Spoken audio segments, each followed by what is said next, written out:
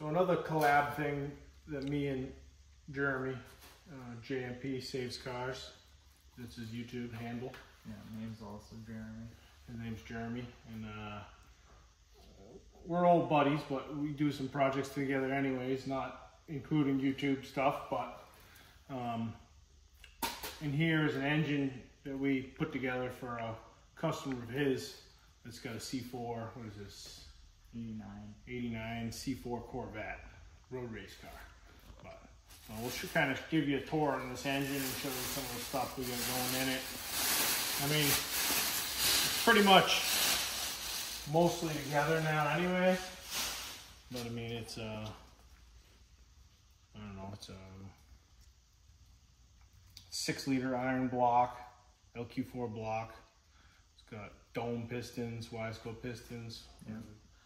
K1 crank. Pull that pin out. I'll show you. It's got uh, ported GM. You know, those ports are pretty nasty on these things. If you look down this intake runner here, ported GM LS3 heads. It's a pretty nasty little motor. And uh, it's gonna stay in there if we roll it. Yeah, you got two in there. It's got you know K1 K1 crank, K1 rods. It's, it ends up being like a what 370? I think it's 370 cubic Yeah. inch, 30 over six liter. It's like what, what do we end up compression ratio? Uh, 11 and a half or more? 12? 12 too. 12 2 compression. We, I think we skim the heads Yeah, like 30 or something. yeah. 59 thousandths head gaskets. So we got, what do we got going on here? We had some issues with the shaft, shaft rockers. Let me roll this thing. We never had issues with them, but these, uh, this is the oil pan we're using, baffled, trap door, It's like a double sump almost. road race pan kind of thing. Pretty nice piece. Yeah. And um, so it's got shaft mounted rockers comps.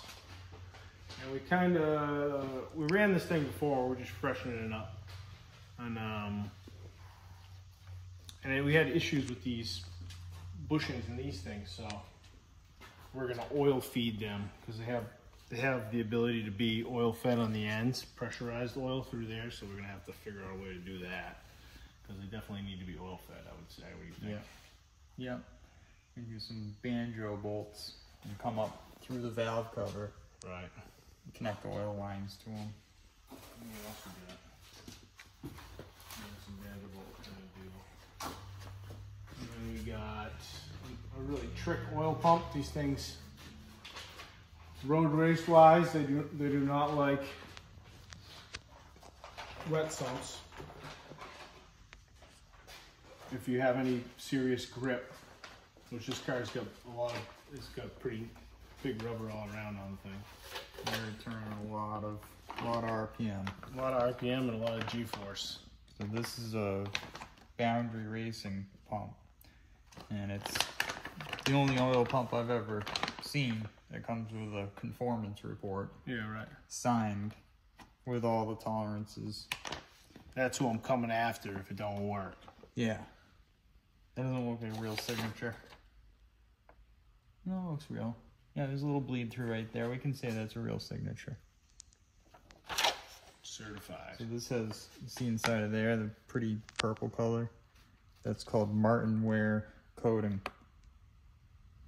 Don't know if you can pick that up in the light. Super slick. Right, yeah, there, see right there. So all the gears inside of here, they're coated, and then they also do this little cutout down here to relieve um, cavitation. So instead of creating air bubbles, it gives it a space for the oil to have a well to draw from, so it, it continually is getting rid of air instead of making it. So, you want to go fast and make big power and turn corners hard. It just you got to bolster all the systems in this engine so that it can withstand it. Making power on the dyno is different than making power on the track. Yeah, something on the the dyno or on the street can live for a long time, and then one one lap around the track can kill something. You know, Yep. it's a different world. You're basically running that thing flat out, high RPM, high load. So Imagine the oil can. You're just going like this.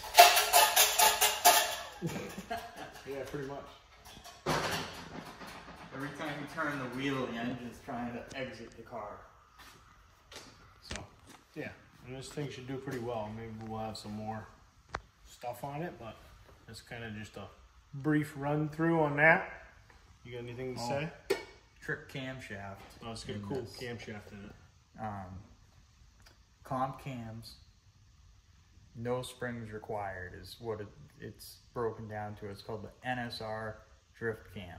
It's available for the 4.8, 5.3 liter. If you want to put it in a drift car and just be able to make some power up there, it does that. But when you put that cam into something with good heads, good compression, it, it really, really did well.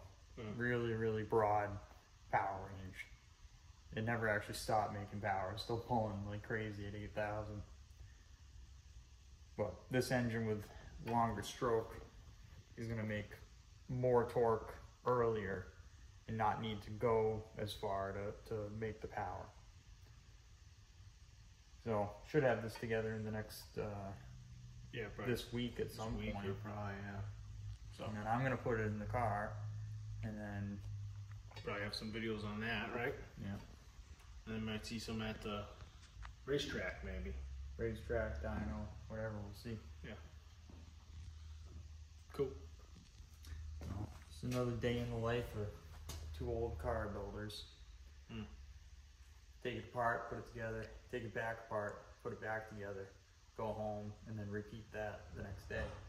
And eventually, you get one of these built. Hmm. Right? Isn't that the sequence? That's the sequence. Rinse and repeat. Yeah, rinse, repeat, And then turn it up and break it, and start all rebuild over. it, and then start all over again. Yeah. So that's it. So now you saw me out in the wild in conjunction with Eric. We've uh, been doing stuff together since high school, but uh, this is how this industry works. It's friends amongst friends, and hope you enjoy the content that they're bringing to uh, YouTube and look for more content on my channel. Been busy lately, but you know what? We all gotta live our real lives. Yeah, maybe we'll get over there and do some stuff with you. Yeah.